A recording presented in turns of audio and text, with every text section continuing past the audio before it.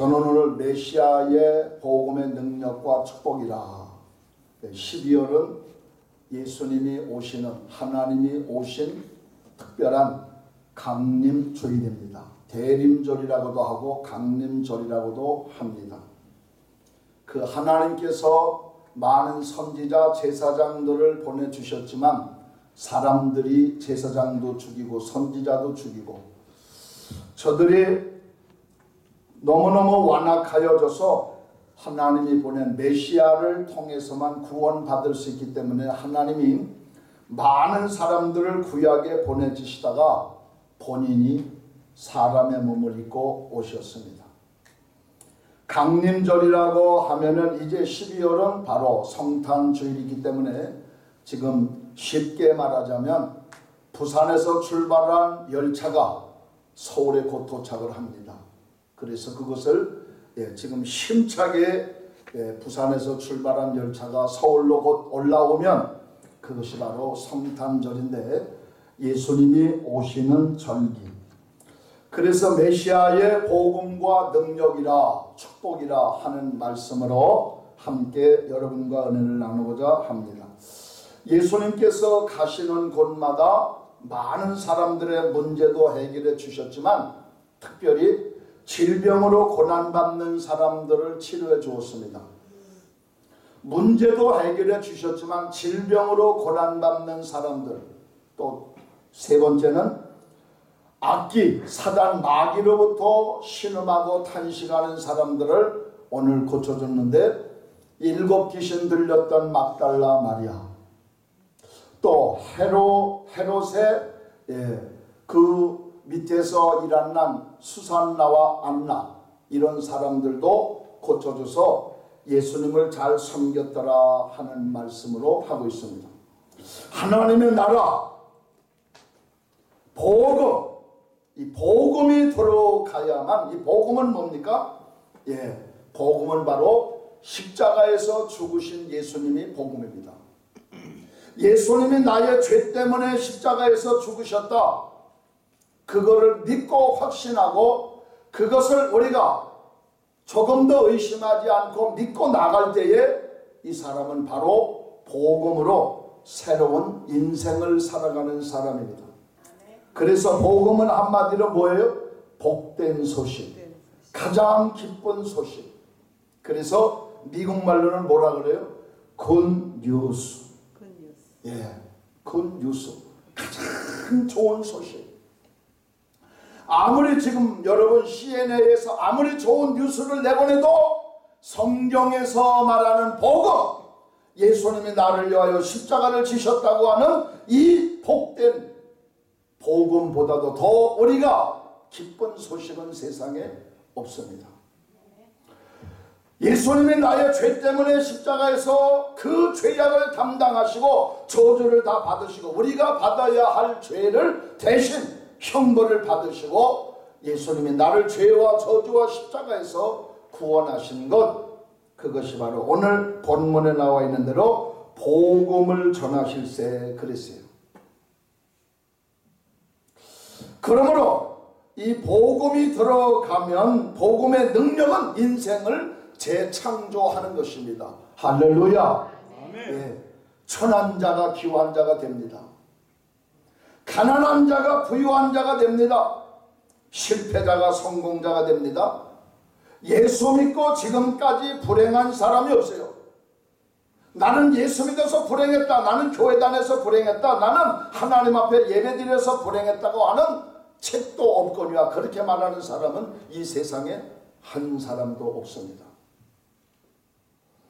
그러므로 복음이 들어가면 재창조함을 받은 인생들은 거기서부터 행복과 인생의 성공과 인생의 모든 꿈과 비전이 다 이루어지는 것입니다. 할렐루야. 무능한 사람이 능력자가 됩니다. 약한 사람이 강한 사람이 됩니다. 어둠과 저주와 모든 재앙에서 이 사람이 축복의 사람으로 바뀌어지는 것 이것이 바로 복음인데 하나님의 위대한 능력입니다. 그래서 오늘 본문에 보면 일곱 귀신 들린 막달라 마리아가 예수님으로부터 그 귀신을 쫓아냄을 받고 성한 여자가 되어서 하나님 앞에 바로 서게 되었습니다. 제가 10년 전에 여수를 갔습니다. 여수. 여수를 가니까 거기 지금도 여러분 예, 많지는 않지만 이 문둥병자가 사는 이 촌이 있어요. 지금도. 예, 그 사람들이 닭도 기르고 돼지도 기르고 마늘도 심고 거기다 고구마도 심고 감자도 심고 예, 한 30가정이 지금도 예, 삽니다. 근데 가까이는 못 가고 멀찌감치해서 안내하는 지도자가 하는 말이 저분들이 다 그 병에 걸려서 지금도 고난받고 있는 사람입니다. 못 나옵니다, 거기서. 그러니까 그 사람들이 농사를 짓고 그 다음에 짐승을 키워서 다 이렇게 팔 때가 되면 예, 사람 성한 사람 몇 사람 들어가 가지고 그것을 물건을 가지고 나와요. 참 이게 한번 예, 문둥병에 걸리면 얼마나 고난의 세월을 보냅니까? 문둥병보다 더 무서운 병은 귀신 마귀에게 사로잡혀서 사는 사람들 그 사람들이 오늘날로 쉽게 말하자면 마약 중독자, 알코올 중독자, 도박 중독자 또 예, 세상에 나가서 이리저리 떠돌아 다녀야만 예, 그 사람들은 그렇게 해야만 사람들이 행복을 얻습니다. 교회와는 뭐 점점 멀어져 갑니다. 얼마나 그거 여러분들 무당들이 그 신을 안 받으려고 얼마나 이거 안 받으면 안 됩니까? 안 됩니까? 막 몸부림을 치잖아요. 너 신대림 안 받으면 너 교통사고나 네 자녀가 죽어 네 사업이 끊어져. 어쩔 수 없이 발발발 떨면서 신내림을 안 받으려고 하다가 마지막에 받잖아요. 그게 그 사람들의 마지막 예, 운명입니다.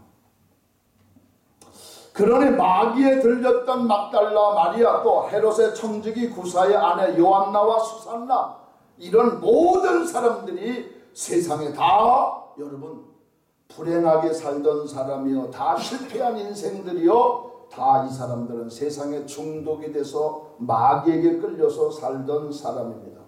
네, 저와 여러분은 예수님이 이렇게 자유케 해주시고 우리가 복음으로 이 땅에 살다가 우리 장로님이 말씀하신 대로 믿는 사람들의 수명은 90 중반이지만 믿지 않는 사람들 특별히 여러분 주지승 주지스님들은 가장 좋은 것만 먹고 가장 좋은 곳에서 수련을 하고 공기도 얼마나 맑은 공기를 마십니까?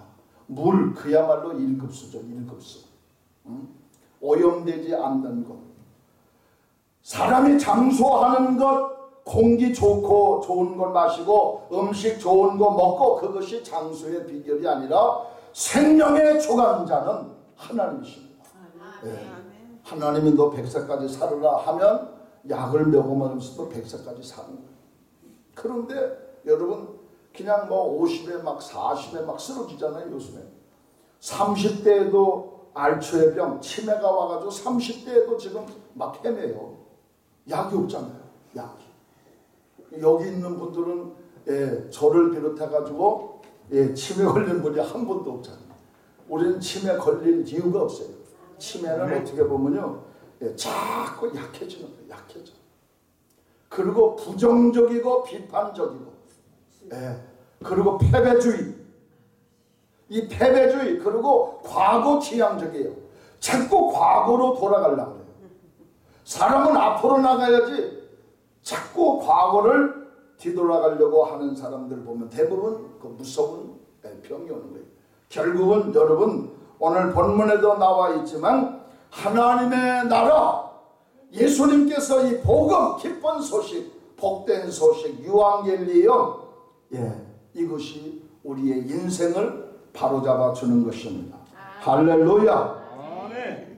마태복음 8장 16절에 보니까 저물매 사람들이 귀신 들린 자를 많이 예수께 데려오늘 예수께서 말씀으로 귀신들을 쫓아내시고 모든 병을 다 고치셨느니라 라고 마태복음 8장 16절은 기록하고 있습니다.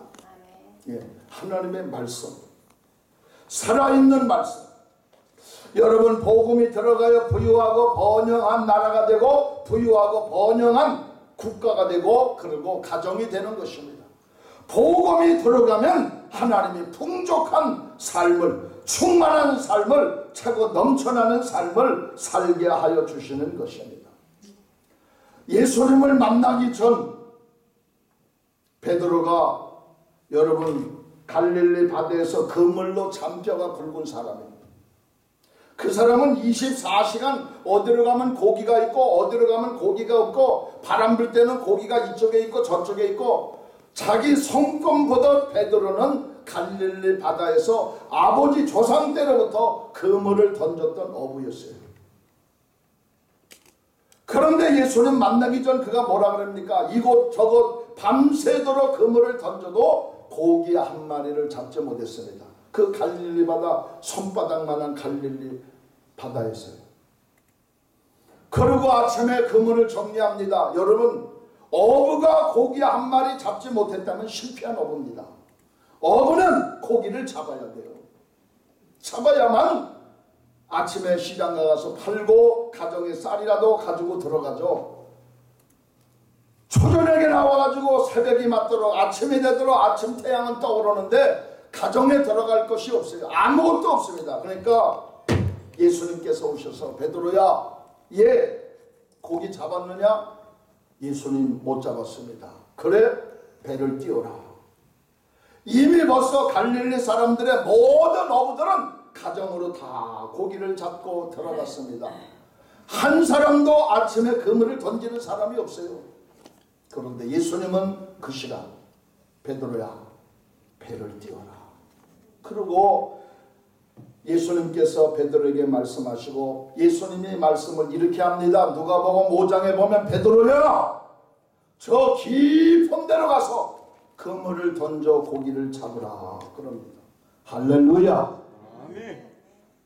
예수님 만나기 전에는 여러분 그날 저녁에 초저녁부터 만선을 기대하면서 그물을 들고 집에서 나왔지만 아 무것도 얻지 못하여 허탈한 그 아침에 예수님 말씀으로 그물을 던지니까 고무기 그물이 얼마나 그 안에 고기가 많이 들어갔는지요. 그물이 찢어지는지라 그랬어요. 할렐루야. 아멘. 하나님이 명령하는 거예요. 고기야 고기야 그물로 다 들어가 들어가. 그러니까 고기가 갈릴리 바다에 고기가 다 글로 들어간 거예요. 나머지 고기는 베드로가 다 가져간 거예요. 야 베드로 야 고기 가져가야 돼. 고기야 고기야 그러니까 예 글로 들어갈게요. 하고 고기들이 다 글로 들어갔어요. 예. 고기도 하나님 말씀 들으면 복 받는 거예요. 예. 이리저리 다니다가 낚시꾼에게 잡혀야 그 얼마나 예. 힘들고 그래요. 그죠? 낚시꾼에게 잡혀봐요. 그것도 낚시꾼이 잡아가지고 올리는데 그것도 떨어져가지고 입천장이 다 날아가고 막 피가 터지고 그러면 고기가 얼마나 힘들어요. 그러니까 평안하게 고기가 들어가는 거예요. 여러분 뭡니까? 복음이 들어가면 예, 풍족함, 번영의 역사가 일어나는 것입니다. 아멘. 또 우리가 구원의 역사가 일어나는 거예요. 이 복음이 들어가면 광명이 일어나는 거예요. 그 집안의 어둠이 다 물러갑니다. 어둠이 다 물러가요. 악한 영이 떠나가고 사단 마귀가 떠나가고 예수 그리스도를 믿는 순간 그 인생은 하나님이 이제 책임져 주는 거예요. 하나님. 그러므로 구원의 역사, 광명의 역사가 일어나는데 오늘 본문에 나와 있는 막달라 마리아는 일곱 귀신 들렸던 여인입니다. 귀신 한 마리가 들어와도 힘든데 일곱 귀신이 들어왔으니까 얼마나 24시간 귀신이 요동할 때마다 힘들고 이 여인이 고통스럽고 통증이 얼마나 심했겠어요. 나는 여기 앉아 있고 싶은데 귀신이 자꾸 나가라는 거예요. 너 나가라. 쓰레기장으로 가라. 저 무덤으로 가라. 가라는 거예요. 귀신이 가라는 곳에 가면 좋은 일이 일어납니까? 전뭐 불행한 일만 일어나는 거예요. 그런데 막달라 마리아 헤롯을 담당하였던 두 여인 오늘 구사의 아내 요한나와 또 수산나 예수님께서 자기들의 모든 문제, 영원 문제, 인생의 삶의 문제를 해결해 주셨기 때문에 그들이 뭐라 그래요? 소유로 저희를 섬기더라. 자기가 가지고 있는 거 다 예수님을 섬기더라. 음. 할렐루야. 아멘. 역사가 일어나는 것입니다. 예수님의 피가 아니면 모든 사람들은 다 이 땅에서 저주받아 죽습니다. 우리가 마귀로부터 이렇게 자유와 해방을 얻고 마귀가 내 마음대로 나를 못하는 이유는 예수님께서 피값으로 나를 사셨기 때문에 따라서 예수님은 나의 구원자입니다. 예수님은 나의 구원자님. 예수님의 피로 죄 사함 받았습니다. 대상 받았습니다. 우리는 다 예수님의 피로 구원받았고 죄 사함을 받은 사람들이에요. 얼마나 감사합니까? 히브리서 9장 12절은 말합니다. 염소와 송아지의 피로 아니하시고 오직 자기의 피로 영원한 속죄를 이루사 단번에 성소에 들어가셨느니라. 짐승의 피가 아니라. 아브라함이나 이삭이나 다윗이나 이러한 구약의 사람들은 다 짐승의 피를 가지고 하나님 앞으로 나갔습니다. 그 짐승이 비참하게 죽고 나는 살고 짐승을 보면서 너는 내 죄 때문에 내 죄 때문에 네가 죽는구나 하고 짐승이 피를 흘리며 죽습니다. 그런데 이제는 예수님께서 2000년 전에 골고다 언덕에서 십자가를 지시고 피를 뿌리셔서 우리의 죄를 다 담당하신 겁니다. 아멘. 그러므로 여러분 우리는 말이 중요해요. 축복을 선포해야 합니다. 축복받은 사람의 입에서는 축복이 나와야 돼요. 또 성령 받은 사람의 입에서는 성령의 역사가 나와야 합니다. 이제는 여러분 예수 믿는 사람들은요 예, 옛날 노래도 좀 삼가해야 돼요. 나그네 서론 불러봐야 뭐가 있습니까? 아무것도 나오는 거 없어요. 예? 그런 거 부르지 말고 참 오늘 우리 사모가 찬양을 어리스럽게 잘했는데 천부여 이제 없어서 예, 하나님이 얼마나 기뻐해요. 응? 그러므로 우리는 희망적인 말을 선포해야 합니다. 복된 말을 선포해야 합니다. good 메시지, 기쁜 소식. 당신은 치료받을 수 있어. 당신은 축복받을 수 있어. 당신은 할 수 있어. 꿈과 비전을 선포하는 여러분들이 되어야 합니다. 그러면 좋은 말이 일어나는 거예요. 음. 예. 말은 우리가 행한 대로 하나님이 말의 위력이 있기 때문에 그대로 나타난다 그랬어요. 나는 재벌이 될 거야. 나는 앞으로 장차 장군이 될 거야. 내 이마에는 별 네 개를 달을 거야. 내가 미군의 육군 대장이 될 거야. 공군 대장이 될 거야. 참모 총장이 될 거야. 왜냐하면 시편 109편 17, 17절에 보니까요. 그가 저주하기를 좋아하더니 그것이 자기에게 임하고 축복하기를 기뻐하지 아니하더니 복이 그를 멀리 떠났도다. 네. 그리고 디모데후서 2장 16절 사도 바울은 말하기를요. 망령되고 헛된 말을 버리라. 망령된 말 예, 버려야 합니다. 그러면 하나님의 역사를 일으켜 주는 것입니다. 아멘. 여러분 성공자 성공자는 다릅니다. 이 성공한 사람들을 한번 만나보세요. 여러분 주위에 앞서가는 사람 성공하는 사람을 한번 가만히 보세요. 성공한 사람은 누구나 다 거의 비슷한데 마음이 넓어요. 마음이 넓습니다. 그리고 마음이 아주 깊습니다. 이해심이 많습니다. 잘 넘어갑니다. 어떠한 일이 있어도 이 사람은 그 고개를 잘 넘어가요. 그러나 성공하지 못하는 사람들 대부분 보면 못 넘어갑니다. 무슨 생각이 있기 때문에 그래요? 패배주의. 과거 지향적인 사람들. 이런 사람들은 안 됩니다. 여러분 지금 대한민국 서울 한복판에서 300만이다 350만이다 앞으로 1천만이다 광백수를 동원할 서울의 봄이라고 하는 김성조라고 하는 감독이 만든 영화. 이 영화는 과거 지향적 영화입니다. 지금 현재 79년이 지난 43년 된 지금에도 한 발자국도 거기서 나가지 못하고 있습니다. 그 영화는 어떤 영화입니까? 여러분 김영삼 대통령이 법정에다가 노태우 전두환 대통령을 세웠습니다. 세운 다음에 어떤 일이 일어났습니까? 대한민국에 IMF가 왔습니다. 그리고 그는 마지막까지 참 아들 때문에도 김영삼 대통령은 고난의 고난의 세월을 보내다가 인생을 끝냈습니다. 그 다음 대통령 김대중 대통령은 전두환 노태우에 대해서 아무런 언급을 하지 않았습니다. 지혜로운 사람, 지혜로운 사람. 정치 구단은 달라요. 아무런 그 사람에 대해서 이랬다 저랬다 할, 할 말이 얼마나 많겠어요. 그러나 아무런 말을 안 했습니다. 그리고 그 다음 때에 노무현 대통령이 자기들을 이어서 대통령 바톤을 넘겨주었습니다.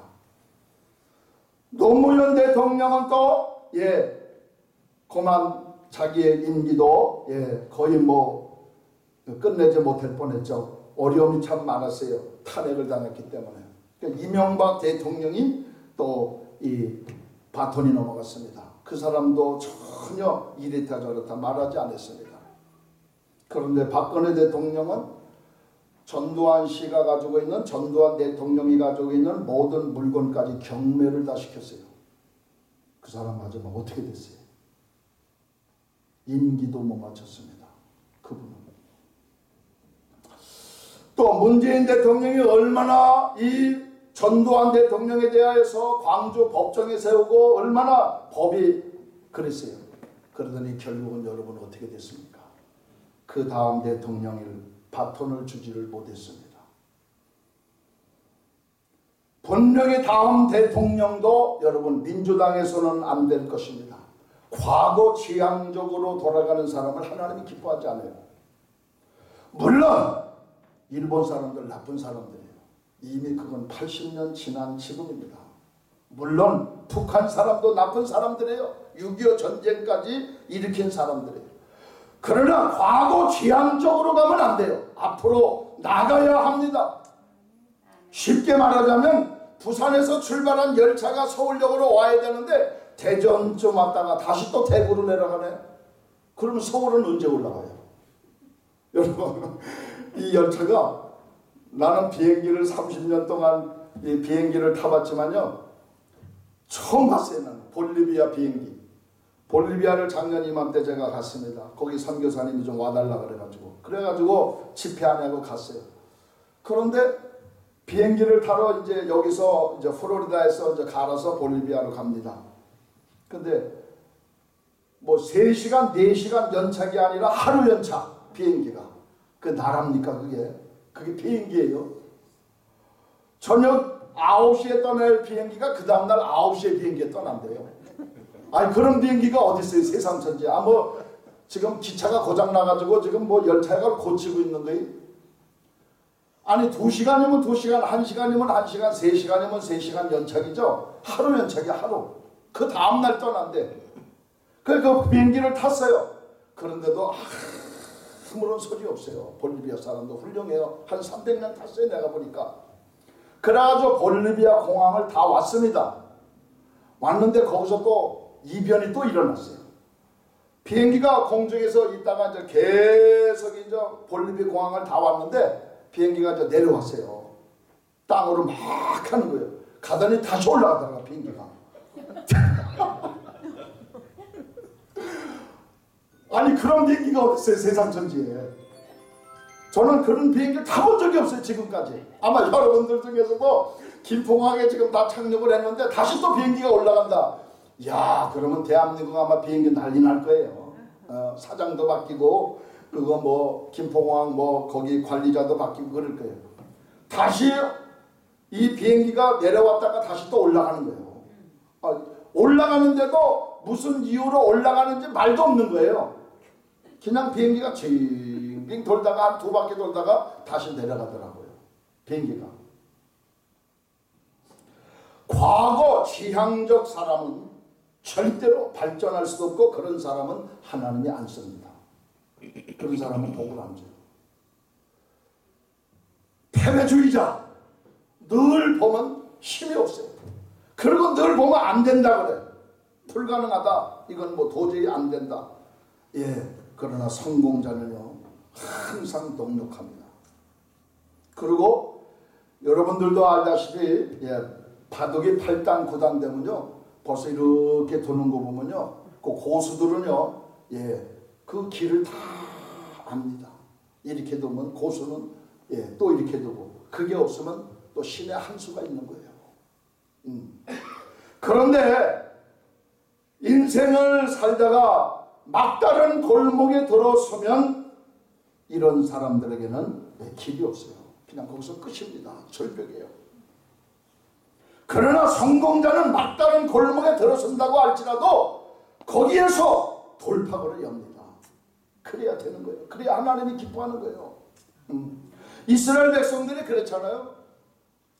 출애굽기 15장 16장에 보면 이스라엘이 애굽 땅에 나와가지고 가나안 땅에 들어가는데 앞에 홍해 바다가 있습니다. 많은 사람들이 모세를 향하여 하는 말이 다시 애굽으로 가자. 애굽으로 가자. 돌아가자 그럽니다. 야 앞에는 홍해 바다가 있고 뒤에는 애굽 군대가 있는데 우리의 힘으로는 도저히 안 된다. 그러니까 우리가 애굽으로 다시 돌아가자. 하나님께서는 애굽의 장자를 다치시고 애굽의 재앙을 내리고 이스라엘을 불러내서 저 가나안 땅으로 가고자 하는 것이 하나님의 목표인데 이스라엘은 돌아가자. 거기서 이스라엘 사람들이 한 사람도 가나안 땅에 들어가지 못하고 갈렙과 여호수만 들어간 이유가 거기 있는 거예요. 안 됩니다.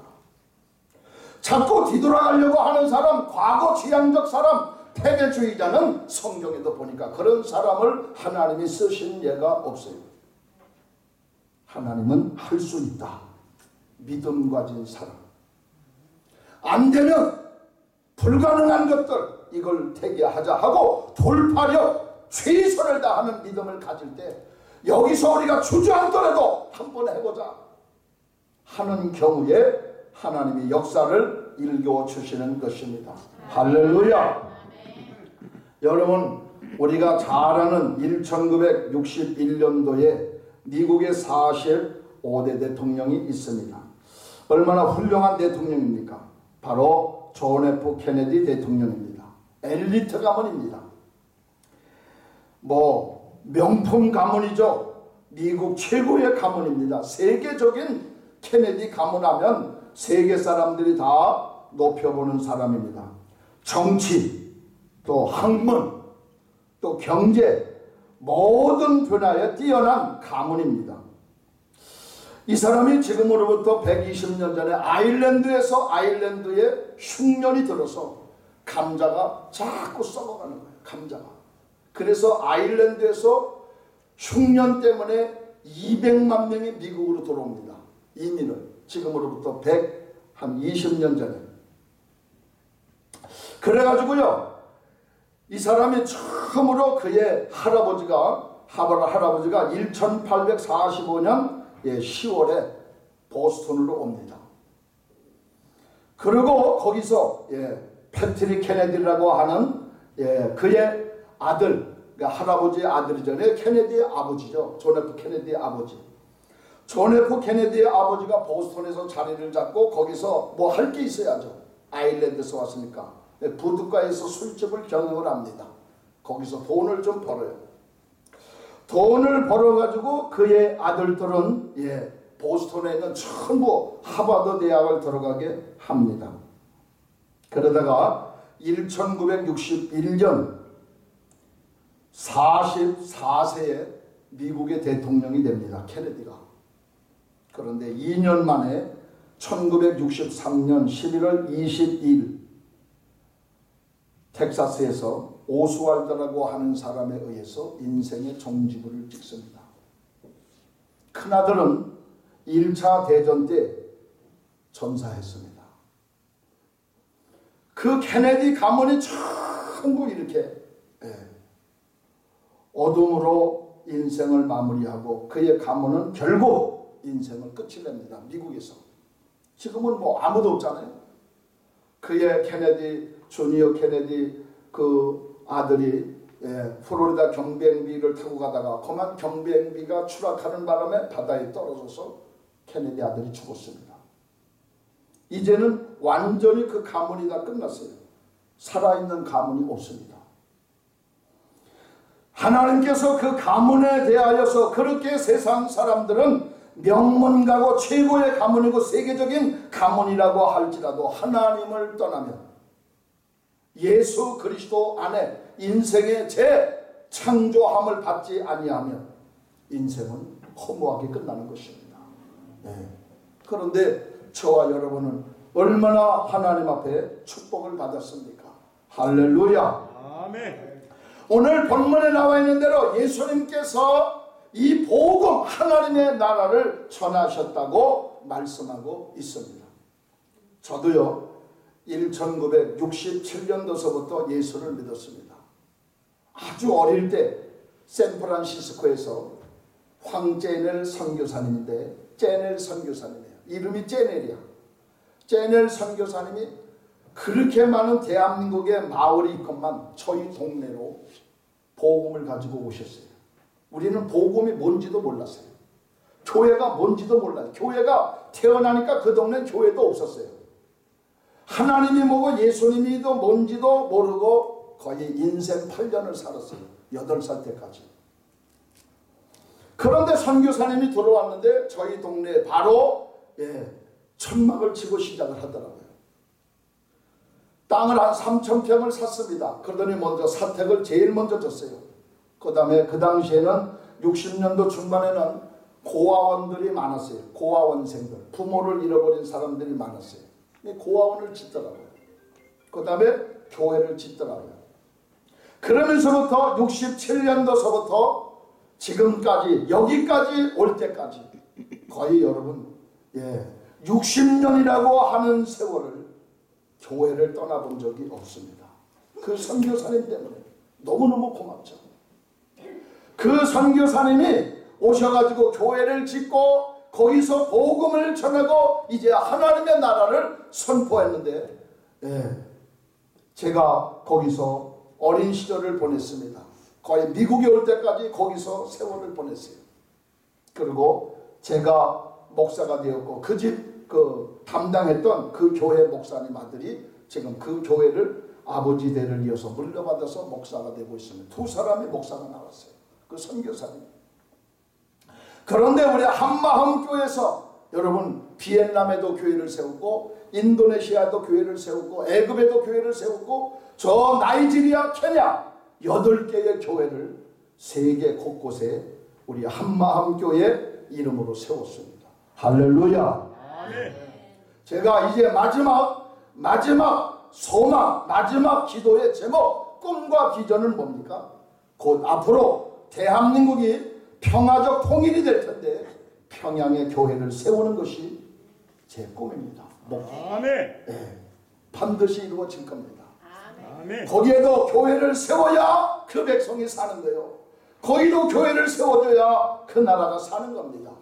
교회가 없으면 사는 길이 없어요. 케네디 가면 되는 거예요.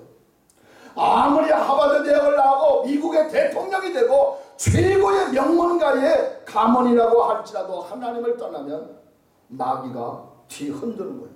마귀가 뒤 흔들어요. 예수 믿는 사람들은 승리하는 것입니다. 오늘 이 아침에 하나님의 은혜와 축복이 여러분에게 임하시기를 주님의 이름으로 축원합니다.